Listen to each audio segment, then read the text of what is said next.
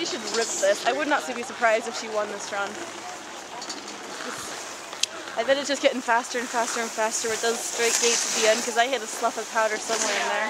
Here she comes. That's All right, Lainey, get a good finish, girl. She looks good, dude. Hey, if Lainey finishes,